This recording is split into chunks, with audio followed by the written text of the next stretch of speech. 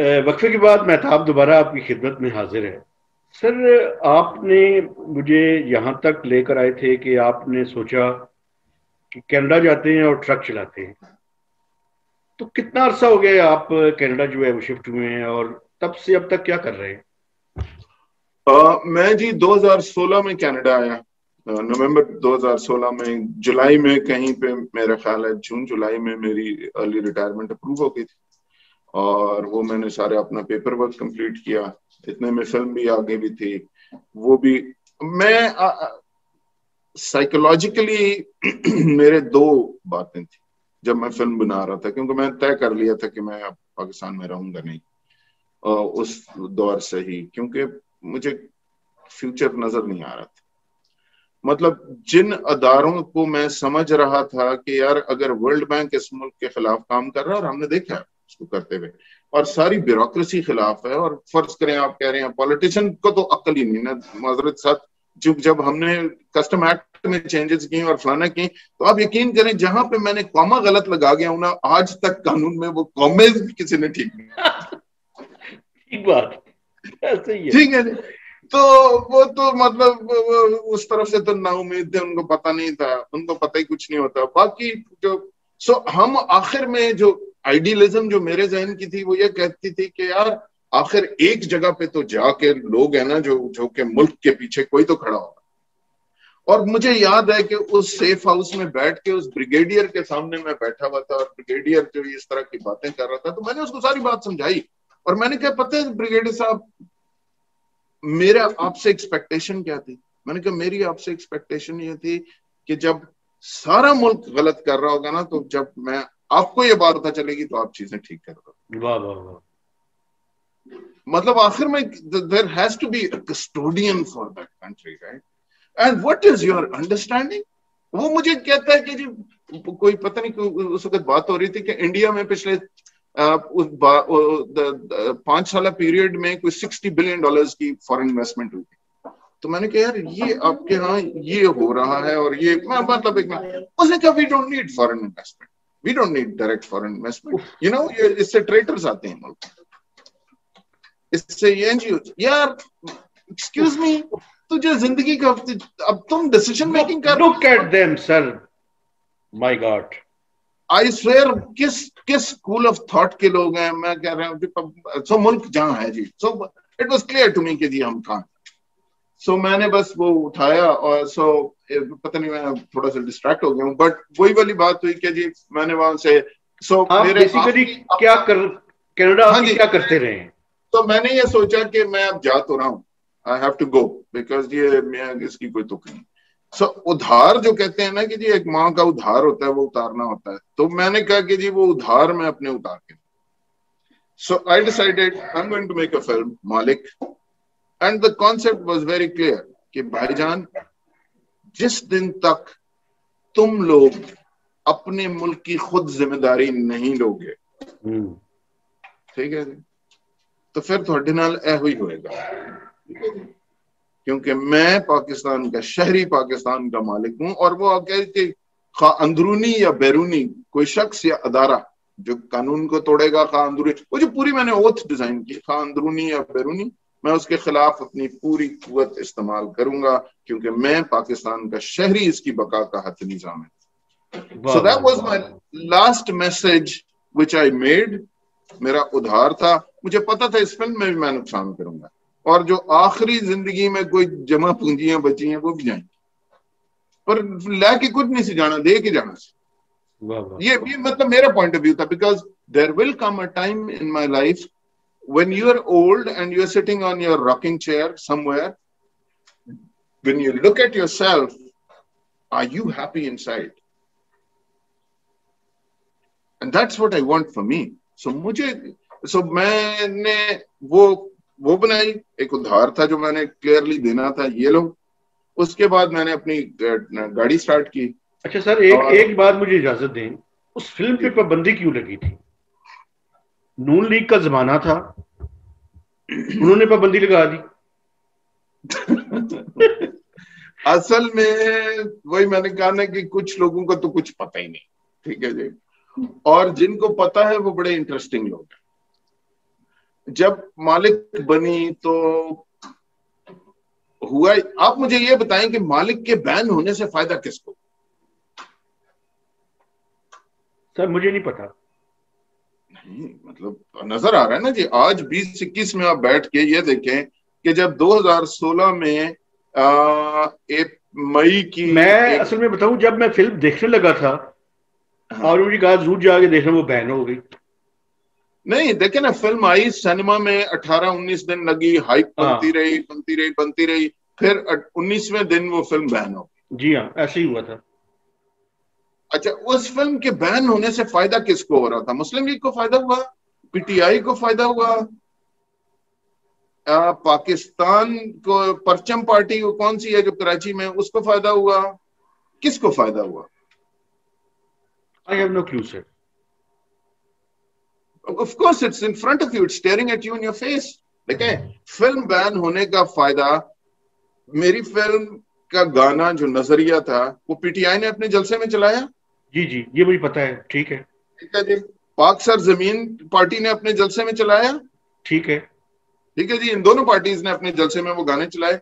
और मेरी फ़िल्म के बैन होने से एडवांटेज लानते लोगों ने किस पे भेजी? किस पे भेजी? नून पे भेजी। तो नून को तो मेरी फ़िल्म बैन करने से कोई फ़ायदा नहीं हो रहा था नून को मेरी फ़िल्म बैन करने से नुकसान हो रहा। बिल्कुल। नून का ख्याल है कि उन्होंने मालिक बैन की। नून ने मालिक बैन नहीं की थी क्योंकि जो बंदा जो ब्यूरोक्रेट थे अंदर क्योंकि पीछे तो सारे ब्यूरोक्रेट्स ने नोटिफिकेशन इशू किया थे। तो मुझे उसने आखिर में बताया कि ये फ़ोन कहाँ से आया था और किस तरीके हमने क्यों बैन की थी। और और वो जो सेनेटर साहब थे जो उनके नून के क्या नाम था उनका जो इंफॉर्मेशन के मिनिस्टर थे? सेनेटर जो हाँ पीएमएलएन का सेनेटर थे ना जो सफ़ेद से बालों वाले जो के इंफॉर्मेशन में के थे इनके। रशीद नहीं परवेज रशीद। हाँ? Senator Pervez Rashid.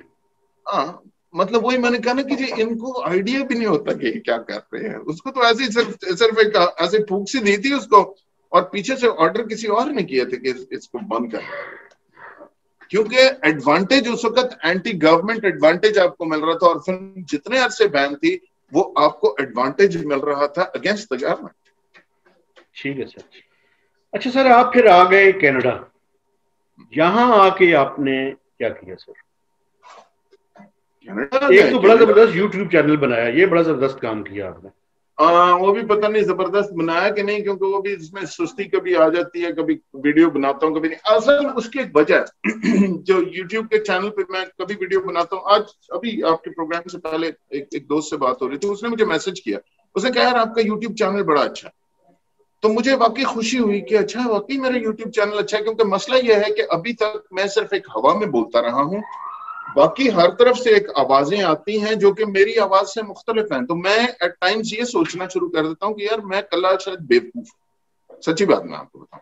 So I have started thinking के और इसीलिए मैं अपना कभी सोचता हूँ कि यूट्यूब चैनल डिसकंटिन्यू शायद कर देना चाहिए, क्योंकि मैं मैं तो मैं शायद I am not making sense to me या I am raving like a mad person और something but then he so slowly now I am hearing voices जैसे आपने कहा या मेरे वो दोस्त हैं वो अच्छे बड़े समझदार आदमी हैं तो उन्होंने मुझे कहा उन्होंने कहा नहीं आप what you saying is making sense and don't stop it so मुझे जब ये फीलिंग होती है कि डोंट स्टॉप इट तो मैं दोबारा शुरू करता हूँ। फिर बीच में ख्याल आता है यार छो बनाऊँगा अच्छा बहरहाल सो ये तो यूट्यूब चैनल की बात सो so, मैं यहाँ आया जनाब यहाँ पे आके मैंने सोचा कि ज़िंदगी में अब अपने आप को री इन्वेंट करना तो क्या करूँ? तो नौकरी तो ज़ाहिर सारी उम्र की थी। सत्रह साल की उम्र का जब था तो तब से एयरफोर्स ज्वाइन की थी तो एक तरह से नौकरी कर रहा था ना। सो सेवनटीन ईयर से अब फिफ्टी फाइव का हो चुका था नौकरियाँ कर करके। तो मैंने ये सोचा कि यार, मैंने नाइन्टी फाइव की नौकरी नहीं करना। जितनी भी अच्छी नौकरी मिलेगी ना, वो नहीं करनी। मैंने करनी है फ़ार्मिंग करनी है, जो मेरी एक ख्वाहिश है कि मैंने बाई करनी है। किधर कोई छोटी सी ज़मीन मिल जाए और कनाडा में जमीनें पाते हैं तो मैंने वो कर अच्छा अब वो कहाँ पे ज़मीन होगी? कहाँ मुझे सस्ती मिल जाएगी? क्या मैं कर सकूँगा? क्या, किस तरह होगा? तो जब तक ये नहीं होता ना तो अब जरा घर तो चलाना है। थोड़ा बहुत और वो पैसे भी तो ज़िंदगी में मिलने चाहिए और और नाइन टू फाइव में करनी नहीं, क्योंकि नाइन टू फाइव पे मसला यह है कि फिर आप जगह से बंद जाते हो ना। अगर मुझे यहाँ नौकरी मिली है तो फिर मैंने यहाँ घर ले सकता हूँ मैक्सिमम ठीक है? अब मैं तो ज़मीन लेनी है जिसका मुझे पता नहीं, जहाँ मुझे सस्ती मिलेगी। तो मुझे ऐसी नौकरी चाहिए जो कि मैं नॉर्थ अमेरिका में पहाड़ के नीचे भी बैठा हूँ ना तो मुझे वहाँ भी नौकरी मिल जाए। तो वो एक ही नौकरी है नॉर्थ अमेरिका में। जो आप पहाड़ के नीचे भी बैठे हो ना तो आपको नौकरी मिल जाएगी और वो है। सर लेकिन इसकी चूँकि ये है बड़ा मुल्क तो इसकी सैलरी और रेनुमरेशन भी अच्छे होंगे। बहुत अच्छे है बड़ा टफ नहीं, है बहुत टफ फिजिकली बहुत डिमांडिंग है. वो अच्छी बात है कि जी अच्छे दौर की अच्छी खुराक खा दी तो because physically it's very demanding secondly even it's emotionally और साइकोलॉजिकली वेरी डिमांडिंग बिकॉज़ आप ज़ाहिर निकलते हैं नॉर्थ अमेरिका कंट्रीज़ मतलब मैं वर्जीनिया या इधर उधर ऐसी ऐसी स्टेट्स हैं जहाँ पे आप जाके जब, जहाँ पे ट्रक खड़े करते हैं और हम फ़ील्ड से वो भी उठाते होते थे ना क्रॉप उठा रहे हैं। सो रेड नेक एरियाज़ हैं प्योरली और मतलब लोगों ने यहाँ पे उसी तरह बंदूकें बांधी हुई है ना लेके फिर रहे बड़े मज़ेदार कंट्री है अमेरिका ना। तो I think I learn a lot and वो पहले तो ए लाइसेंस लिया और, मैंने कहा कि ट्रकिंग शुरू कर दी। और ट्रकिंग इसलिए क्योंकि ये ऐसी नौकरी है कि मैं नॉर्थ अमेरिका में कहीं भी टट्ठे खू मुझे ज़मीन मिल जाए जहाँ पे मैंने रहना हो तो वहाँ भी मैं ट्रकिंग कर सकता हूँ। क्योंकि आप अक्सर फार्म्स भी देखेंगे तो उनके बाद ट्रक खड़ा है एक बोरे का ना? और वो वो चला। तो मैंने वो शुरू की मैं चलाता रहा ट्रक यहाँ से अच्छा सर एक एक चीज़ मुझे थोड़ी सी बताएँ। आपने कोई बच्चों के लिए जो सी एस एस करना चाहते हैं उनके लिए भी प्रोग्राम रन कर रहे हैं वो क्या है? मैं तो नहीं कि ऐसा कोई प्रोग्राम नहीं रन कर। अच्छा ऐसा कोई नहीं कर रहे आपके कोई दोस्त कर रहे हैं? मुझे पता चला था? आई हैव नो आइडिया मुझे नहीं पता। अच्छा ठीक है सर। अच्छा सर एक आखिरी चीज़ जो है उसके बाद कंक्लूजन की तरफ़ जाएँगे। अब कस्टम ने एक नेशनल सिंगल विंडो के नाम से एक प्रोजेक्ट शुरू किया है। और वो ये है कि ये वर्ल्ड बैंक का प्रोजेक्ट है। इसमें जितने डिपार्टमेंट्स हैं, इनको कनेक्ट कर रहे हैं। और एक टाइम लाइन है कि जिसके अंदर जो आपने पहले कहा था कि हमारा जो है, वो बारह से तेरह दिनों में कंटेनर क्लियर होता है। उसको जो है, वो कोई मेरे ख्याल में अड़तालीस या बहत्तर घंटे के अंदर जो है, वो क्लियरेंस उसकी चाहती है। नहीं तो पैक्स में तरह की चीज़ है।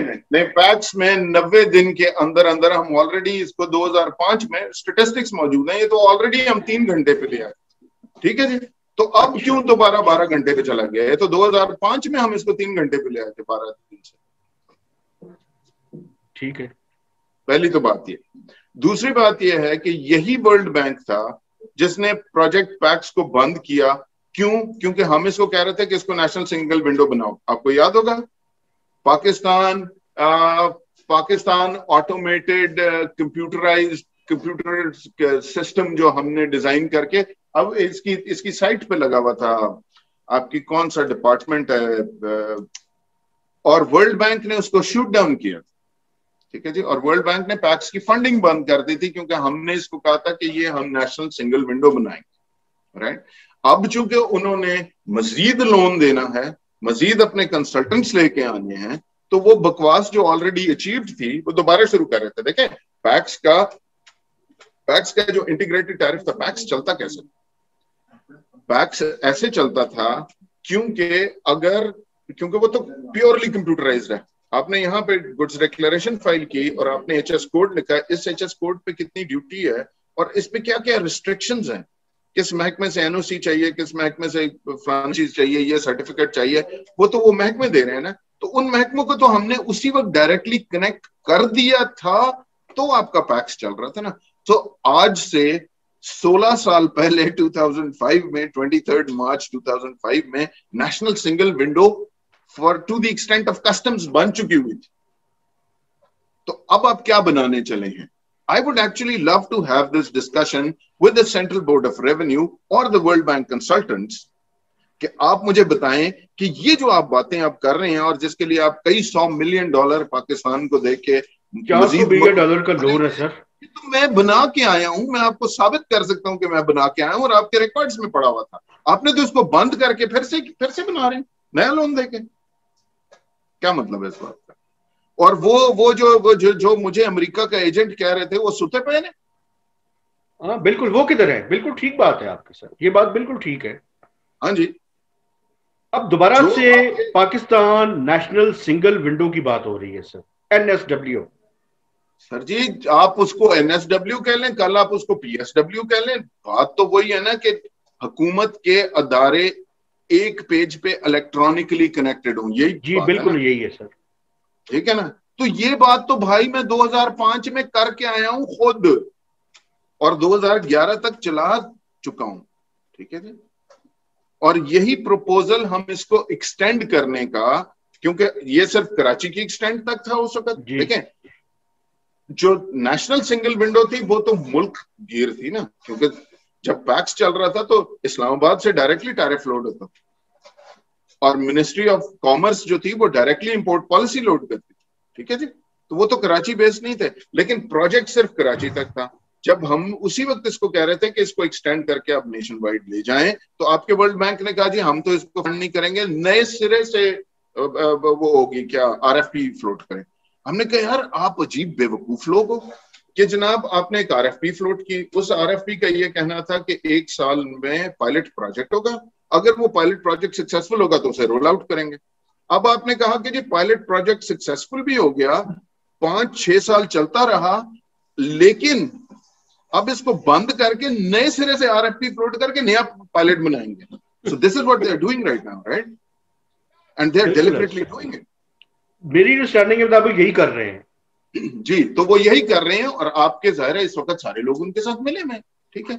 आपके जो अक्सर बड़े बड़े लोग होते हैं मैं क्या नाम लूँ, लेकिन आपके अक्सर जो बड़े ब्यूरोक्रेट होते हैं, उनको एक मोटी नौकरी मिलनी होती है वर्ल्ड बैंक में ठीक है क्योंकि आपको पता होता है कि मैं गलत साइन कर रहा हूँ, लेकिन आप वहाँ पे कर रहे होते हैं, क्योंकि आपको तो पता ये तो ऑलरेडी है हमारे पास।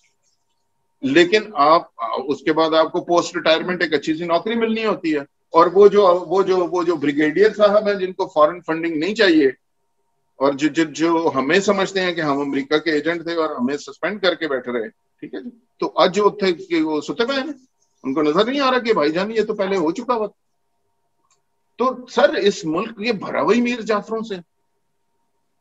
तो यही हूँ। ना और मैंने बहुत अच्छा किया कि जी, मैं उठ के कनाडा आ गया। सर, दिल की बोली है, लेकिन बड़ा मज़ा आया आपसे गुफ्तगु करके। और मुझे उम्मीद है कि मैं ये, और आपसे वादा भी है, ये सारी मैं नशर करूँगा। तो लेकिन मैं कनाडा मैं पाकिस्तान में रहना चाहता हूँ सर। लेकिन उम्मीद है कि मैं ए, लेकिन सर मसला ये है कि हमने इस डिबेट को इनरिच भी करना है। हमने इंक्लूजन की तरफ़ जाना है और फिर सोल्यूशंस भी निकालने हैं। उम्मीद है कि हम सोल्यूशन निकाल लेंगे सर। शायद मेरी नस्ल तो ना निकाल सके लेकिन जो आइंदा आने वाली नस्ल है वो शायद सोल्यूशन निकाल ले। मेहताब भाई मैं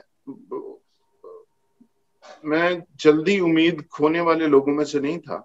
हूँ भी नहीं हूँ, अभी भी नहीं हूँ। और मैंने कहा ना कि at at the age of 55 if you have the capacity to reinvent your life तो आई डोंट थिंक कि जी मैं कोई कम हिम्मत लोगों में से हूँ। बट द पॉइंट इज़ जो हम कहते हैं ना कि जी वो अगली नस्ल निकाल लेगी तो अगली नस्ल निकाल लेगी।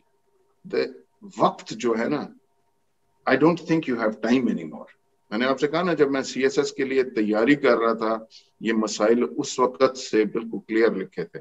और 2000 में आज से 20 साल पहले कोई बंदा कह रहा था कि जी, आपका टैक्स टू जीडीपी रेशियो अगर नहीं बढ़ता तो आप इन अनगवर्नेबल हो जाएँगे। तो वो सारी बातें आपके सामने आ रही हैं। आपकी सोसाइटी में एजुकेशन आज कहाँ पहुँच चुकी है? आपकी पॉपुलेशन कहाँ पहुँच चुकी है? आपका क्राइम रेट कहाँ पहुँच चुका है? आपके मुल्क में कैसे कानून की क्या सूरत हाल है? तो अगर आप समझते हैं ना कि आपके पास अनलिमिटेड टाइम है अच्छा जी वो फिर अनलिमिटेड नहीं है सर ठीक कह रहे हैं तो ये you are almost at the word sir this this should have been done 20 years ago you know but problem यह है कि अभी तक अंडरस्टैंडिंग भी नहीं है। अभी तक सब एक बेवकूफों वाले नारे लगा रहे हैं और खान साहब तब्दीली ला रहे हैं। तो मतलब अल्लाह खान साहब ने तो ज़्यादा प्रॉब्लम को एग्रीवेट किया है ये मैं आपसे इतफाक करता हूँ। लेकिन सर इस उम्मीद के साथ कि हम कोशिश करेंगे। मतलब देखिए हम जो जर्नलिस्ट हैं हम अपना अपना रोल भी कोई इफेक्टिवली प्ले नहीं कर रहे। मैं ये भी आपके सामने एडमिट करता हूँ। लेकिन जितनी हमारी कैपेसिटी है देखिए हमारी भी कैपेसिटी के इश्यूज़ है ना। जितनी हमारी कैपेसिटी है हम अपनी कैपेसिटी के मुताबिक कोशिश कर रहे हैं। और इस दौर में इन्होंने तो गले से पकड़ा हुआ है सर। अब गले से पकड़ते नहीं है मारते भी हैं। कोशिश कर रहे हैं कि अपना रोल ठीक तरह से प्ले करें। वो वही मैंने कहा ना कि जी मैंने मेरे YouTube पे आपने देखा ही होगा कि मैंने उसके सोल्यूशन एक पेश किए हैं। और मैं आपको बताऊँ जब तक वो सोल्यूशन नहीं होगा कंट्री एक ठीक डायरेक्शन में नहीं जा सकेगी। अब वो आपको बेवकूफों वाले वो इम्प्रैक्टिकल लगे हैं क्योंकि मसला यह है कि ताकत के सामने आपने क्या करना है। तो वही बात वही है कि जब तक हर शख्स ये नहीं कहेगा ना कि मैं पाकिस्तान का मालिक ठीक है? तो ओनरशिप तो नहीं रहेगा तब तक मसला हल नहीं होगा। हाँ तो बहरल थैंक यू सो मच जो अगर प्रोग्राम आप ये ना जो जो इससे ना नशर कर सके वो मुझे दे दीजिएगा मैं अपनी यूट्यूब पे डाल दूँगा सर मैं, मैं स्वाय एक आध किसी जुमले के बाकी पूरा नशर करूँगा। आपसे वादा है ये पब्लिकली देख भी लीजिएगा। Thank you very much sir बड़ी मेहरबानी है आपकी। आपने मुझे टाइम दिया। मैं था बैदर को। ए नेक